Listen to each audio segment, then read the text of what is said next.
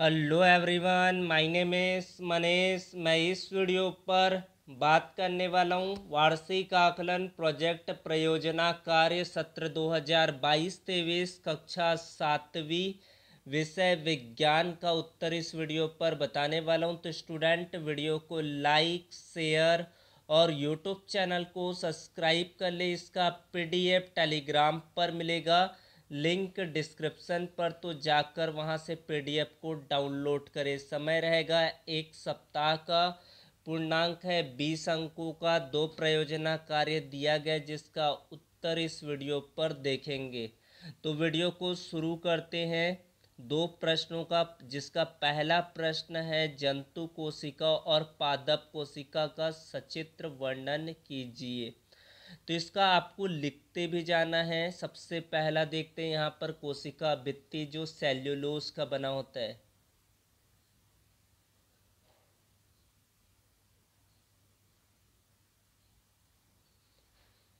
पादप कोशिका में कोशिका भित्ति पाया जाता है। जंतु कोशिका में कोशिका भित्ति नहीं पाया जाता है। सेल्यूलोज की बनी होती है कोशिका भित्ति।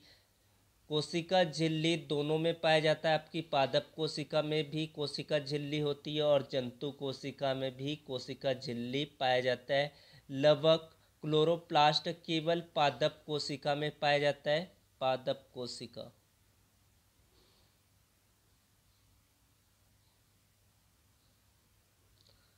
पादप कोशिका में लवक यानी कि क्लोरोप्लास्ट पाया जाता है। जंतु कोशिका में नहीं पाया जाता है। फिर आपका है अंतपद्रवीय जालिका। अंतपद्रवीय जालिका आपके पादप कोशिका और जंतु कोशिका दोनों में पाया जाता है। केंद्रक दोनों में पाया जाता है। आपका पादप कोशिका और जंतु कोशिका में केंद्रक पाया जाता है। गोल्जिकाय दोनों में होता है। पादप कोशिका और जंतु कोशिका में दोनों में पाया जाता है। आपका गोल्जिकाय रिक्तिका। इसमें आपका जंतु कोशिका में रिक्तिका आपका बड़ी संख्या में पाया जाता है। इसमें रिक्तिका बहुत ही कम संख्या में होता है आपका।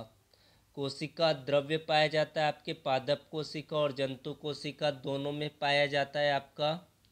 फिर आपका माइट्रोकॉन्ड्रिया जिसको कोशिका का पावर हाउस, कोशिका गृह कहते हैं, दोनों में पाया जाता है आपके पादप कोशिका और जंतु कोशिका। यह है आपका जंतु कोशिका और यह है आपका पादप कोशिका।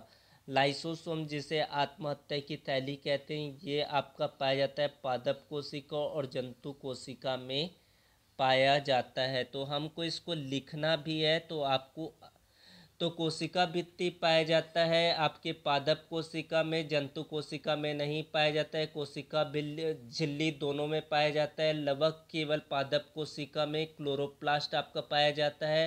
अंतप्रद्रव्य जालिका होता है, केंद्रक होता है गोल्जिका रिक्तिका, कोशिका द्रव्य माइटोकॉन्ड्रिया लाइसोसोम, इन्हीं को देखकर आपको लिख लेना इसके बारे में।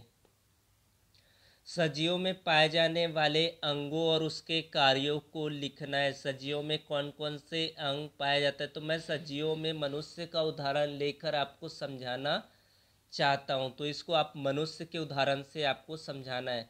सबसे पहला आपका सजीव में प्रमुख अंग होता है, वो पाचन तंत्र होता है। मनुष्य में भोजन ग्रहण करने, उसे पचाने एवं बिना पचे हुए भोजन को शरीर से बाहर निकालने का विशेष अंग होते हैं, ये सभी मिलकर पाचन तंत्र कहलाते हैं।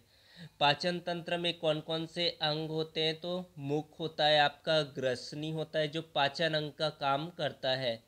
ग्रास नली एवं अमाशय होता है, आंत होता है और मलद्वार होता है। इस तरह से आपको पहले इसका चार्ट भी बना लेना है। पाचक ग्रंथियाँ में लार ग्रंथियाँ पाया जाता है, यकृत होता है, पित्ताशय होता है, अग्नाशय होता है। ये पाचन तंत्र का हिस्सा हुआ आपका। फिर आप क्या बात करते हैं परिसंचरण तंत्र, जिसमें आपका हृदय, धमनियाँ, सिराएँ व रक्त कोशिकाएँ मिलकर परिसंचरण तंत्र का निर्माण करती है। परिसंचरण तंत्र का कार्य है उपयोगी पदार्थों को रक्त के माध्यम से शरीर के विभिन्न अंगों तक पहुंचाना और अनुपयोगी पदार्थों को उत्सर्जी अंगों तक ले जाना, ये परिसंचरण तंत्र का कार्य हुआ। फिर आपका है रेस्पिरेटरी सिस्टम यानी कि श्वसन तंत्र। जब हम सांस लेते हैं, तब हवा के साथ ऑक्सीजन नाक और श्वास नली से होती हुई फेफड़े में जाती है। और जब हम सांस छोड़ते हैं, तब हवा के साथ कार्बन डाइऑक्साइड इसी मार्ग से, शरीर से बाहर निकल जाती है। तो ये हुआ आपका रेस्पिरेटरी सिस्टम फिर है आपका उत्सर्जन तंत्र।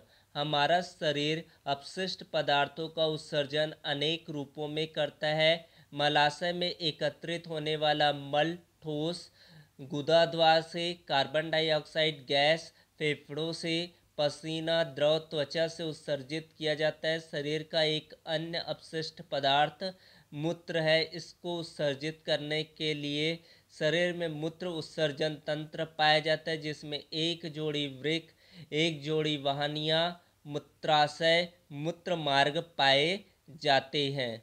ये आपका उत्सर्जन तंत्र के बारे में आपको लिखना है। इसी तरीके से आपको पूरा इसको नोट कर लेना है। तो ये पूरा चीज़ों को आप स्क्रीनशॉट ले सकते हैं। इस तरह से आपको पहले पाचन तंत्र के बारे में बताना है। तो पाचन तंत्र में होता क्या है? मनुष्य में भोजन ग्रहण करने, उसे पचाने बिना पचे हुए भोजन को शरीर से बाहर निकालने के लिए विशेष अंग होता है, जिसे पाचन तंत्र कहते हैं। इसके बारे में आपको लिखना है। फिर परिसंचरण तंत्र, हृदय धमनियाँ सिराएँ व रक्त कोशिकाएँ। मिलकर परिसंचरण तंत्र का निर्माण करती है। परिसंचरण तंत्र का कार्य उपयोगी पदार्थों को रक्त के माध्यम से शरीर के विभिन्न अंगों तक पहुंचाना और अनुपयोगी पदार्थों को सर्जी अंगों तक ले जाना। फिर है आपका श्वसन तंत्र। जब हम सांस लेते हैं, तब हवा के साथ ऑक्सीजन, नाक और श्वास नली से होती हुई फेफड़ों में जाती है और जब हम सांस छोड़ते हैं, तब हवा के साथ कार्बन डाइऑक्साइड इसी मार्ग से शरीर से बाहर निकल जाती है। फिर आपका उत्सर्जन तंत्र, हमारा शरीर अपशिष्ट पदार्थों का उत्सर्जन अनेक रूपों में करता है। मलाशय में एकत्रित होने वाला मल जो ठोस अवस्था में होता है गुदा द्वार से कार्बन डाइऑक्साइड जो गैसीय अवस्था में, गैस के रूप में, वो फेफड़ों से पसीना द्रव त्वचा से उत्सर्जित कर लिया जाता है। शरीर का एक अन्य अपशिष्ट पदार्थ मूत्र है। इसको उत्सर्जित करने के लिए शरीर में मूत्र उत्सर्जन तंत्र पाया जाता है, जिसमें एक जोड़ी आपका वृक होता है, एक जोड़ी वाहनियाँ मूत्राशय और मूत्र मार्ग पाया जाता है। फिर आपका तंत्रिका तंत्र, नर्व सिस्टम, इसमें आपका मस्तिष्क होता है, मेरुरज्जु तंत्रिकाएँ और संवेदी अंग होता है। तो तंत्रिका तंत्र में आपका मस्तिष्क होता है, मेरुरज्जु होता है, तंत्रिकाएँ और संवेदी अंग होता है। फिर सेंस ऑर्गेन आँख, नाक, कान, जीभ और त्वचा हमारे संवेदी अंग कहलाते हैं। तो इसको भी आपको लिखना है संवेदी अंग, यानी कि sense organ eyes nose ear tongue and skin ये हमारे संवेदी अंग कहलाते हैं। फिर आपका है प्रजनन तंत्र। यानी कि रिप्रोडक्टिव सिस्टम तो इसमें आपका क्या होता है? सभी जीवधारी प्रजनन क्रिया द्वारा अपने समान जीव को उत्पन्न करते हैं।